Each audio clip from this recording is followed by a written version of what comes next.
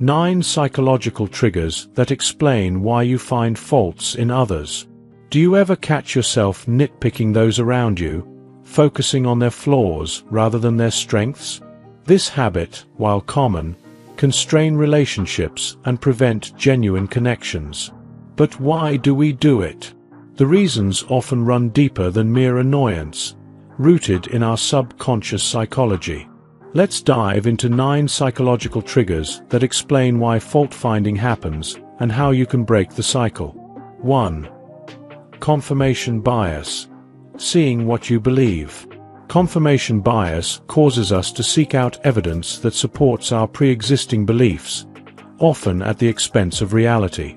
If you've formed a negative opinion of someone, your mind filters their actions through that lens, amplifying their faults and ignoring their virtues. For instance, a coworker who occasionally makes mistakes might be unfairly branded as careless, even when they excel in other areas. This mental shortcut keeps us trapped in skewed perceptions. 2. Displacement. Redirecting emotions. When life's pressures mount, we sometimes redirect our frustrations onto safer targets. This defense mechanism, known as displacement, explains why you might lash out at a loved one after a stressful day at work. The real source of tension might be your demanding boss or tight deadlines, but instead of addressing those issues, fault-finding with others becomes an emotional outlet. 3. Projection. Seeing yourself in others. Projection occurs when we attribute our own insecurities or undesirable traits to those around us. For example, Someone who struggles with jealousy might accuse their partner of being overly possessive.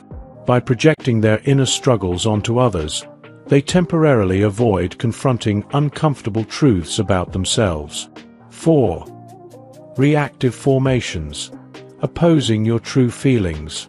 Sometimes, our minds create exaggerated behaviors or attitudes that mask true feelings we aren't ready to confront known as reactive formations, this defense mechanism often results in hypocritical judgments. For example, someone raised in a strict environment might publicly criticize others for behaviors they secretly wish they could indulge in themselves. 5. Stereotyping, reducing complexity. Stereotyping simplifies the complexity of individuals by categorizing them based on perceived group traits. This shortcut can lead to unfair fault-finding, as people are judged not on their actions but on preconceived notions. For example, attributing laziness to someone based solely on their socio-economic status reflects more about societal biases than individual character. 6. Competition. Gaining an edge. In competitive environments, the urge to succeed can trigger fault-finding.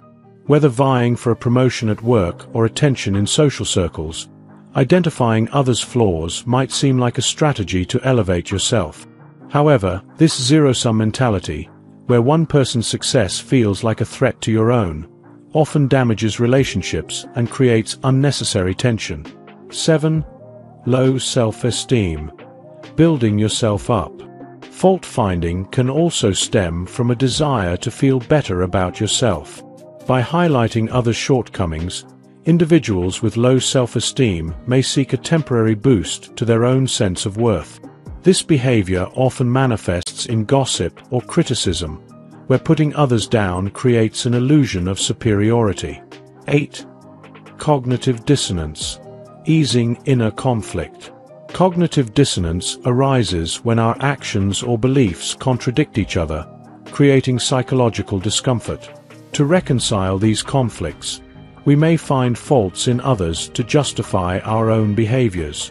For instance, someone engaging in unethical work practices might criticize a colleague's work ethic to distract from their own internal struggle. 9. Controlling behavior. Seeking order. For some, fault-finding is a way to assert control. Whether motivated by anxiety, perfectionism, or a need for authority, pointing out flaws in others creates a sense of dominance or order. While not always malicious, this behavior often alienates those on the receiving end. Perfectionists, in particular, may fixate on trivial errors, straining personal and professional relationships. Final thoughts. Breaking the cycle. Fault finding, while often rooted in subconscious triggers, can harm relationships and stifle personal growth. Recognizing these behaviors in yourself is the first step toward change. Instead of focusing on others' flaws, shift your perspective to empathy and understanding.